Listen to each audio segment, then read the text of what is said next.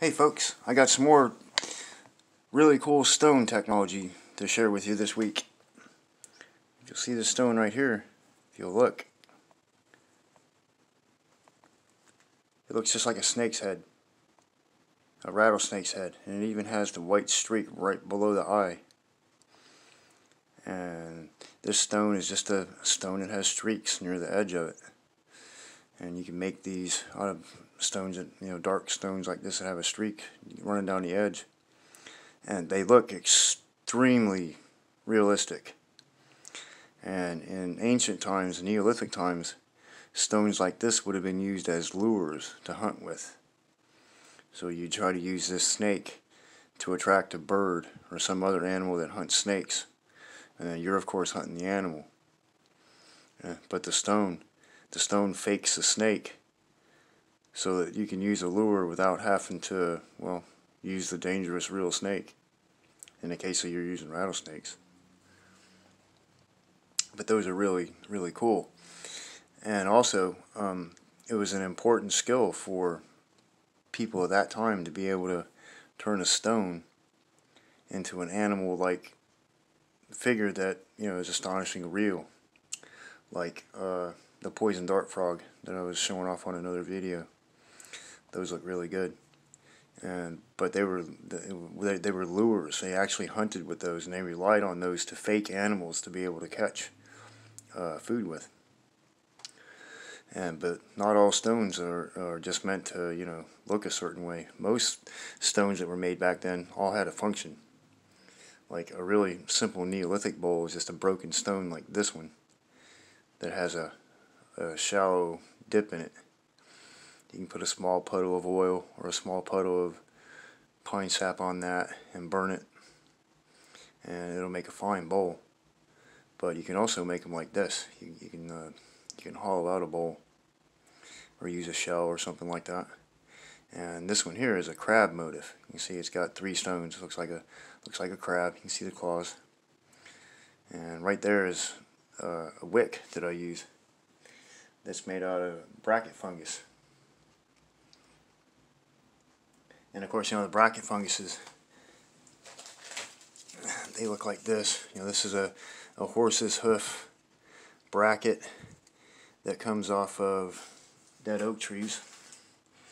And uh, yeah, get that off a dead oak tree, slice it up into little slices, and it makes a wonderful pine sap wick, or, or a, an oil wick, or a candle wick. And um, then you use this for an oil lamp.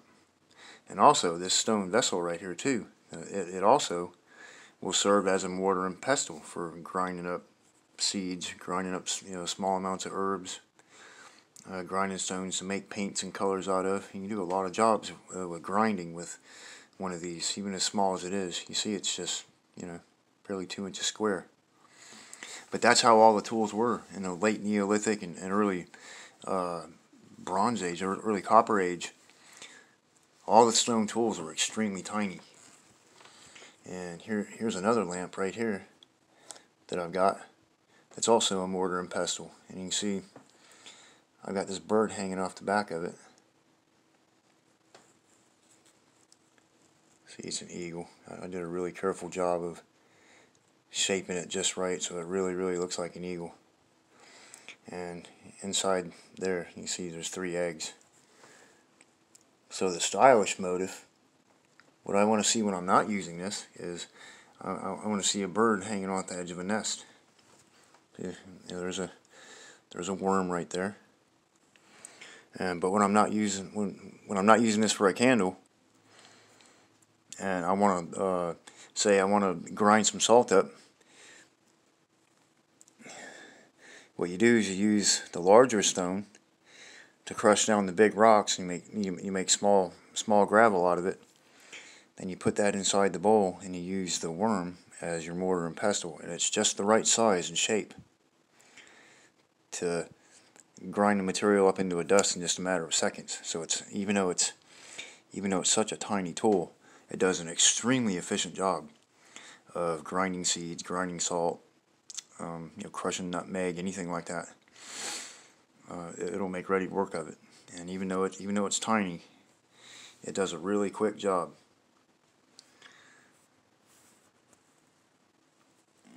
Now, this right here,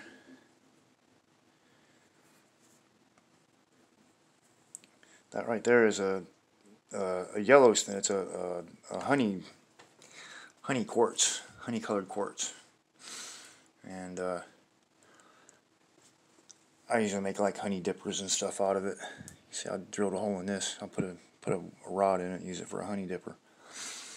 But the thing about these kind of stones, these glassy stones, is you can eat off of them. They, they don't transfer toxins. They're not dusty and dirty or anything like that. They won't make you sick or anything.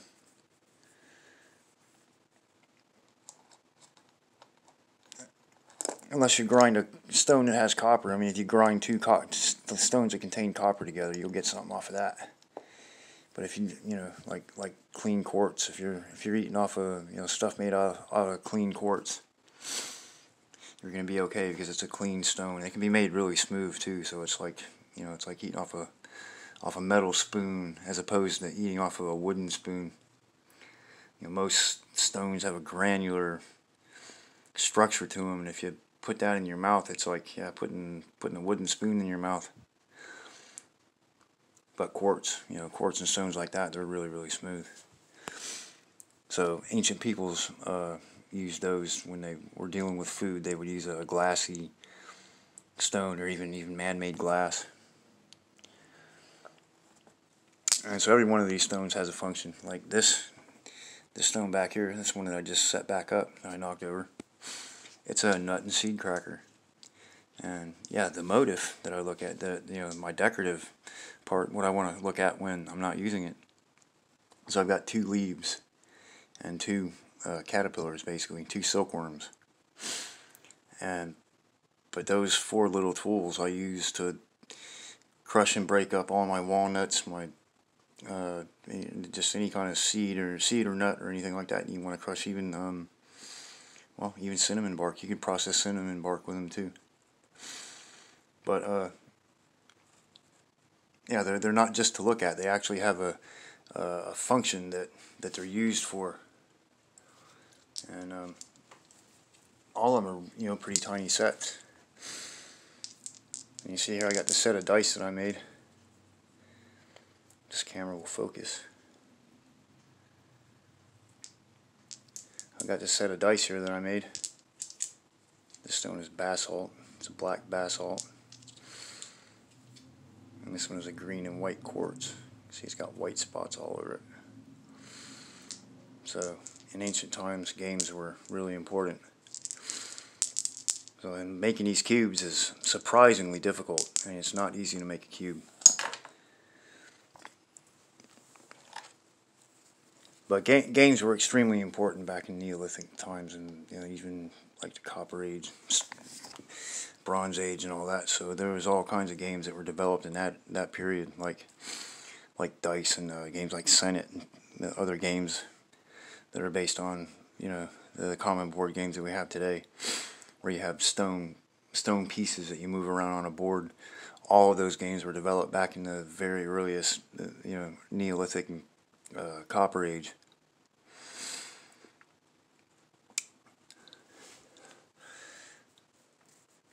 So I hope you agree that this stuff is really neat, and you know, um, as far as stones like this go, you know, I practice the ancient technique of, of hooking the stones together because this stone, this stone has a, a bevel on it that reaches downward, and when you set the two stones together, they just it fits it fits on the corner of the other stone where it hangs on. It locks onto it like a hand holding on, and it it just won't fall off.